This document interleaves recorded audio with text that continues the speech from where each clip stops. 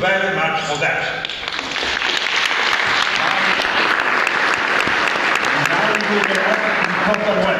So it's uh, constant improvement.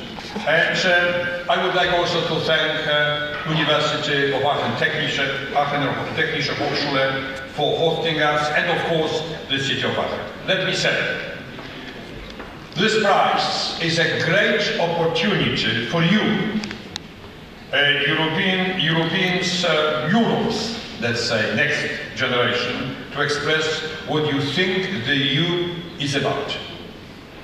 And when you see your place in it in the future, for us in the European Parliament, this is a unique chance to hear first-hand new ideas and visions for the future of Europe. It's very important that ideas coming from you, who will have to live in future in our continent, uh, with the decisions we take today.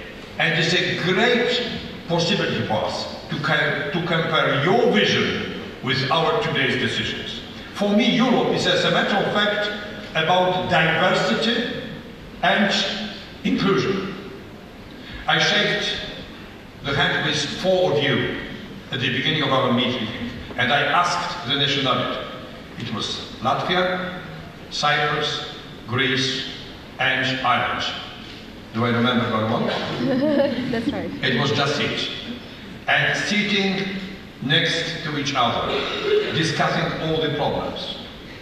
We know that is something very important for us, to have a, such a deep and wide diversity in European And on the other, other hand, to understand each other, to make a power from our di diversity and strength.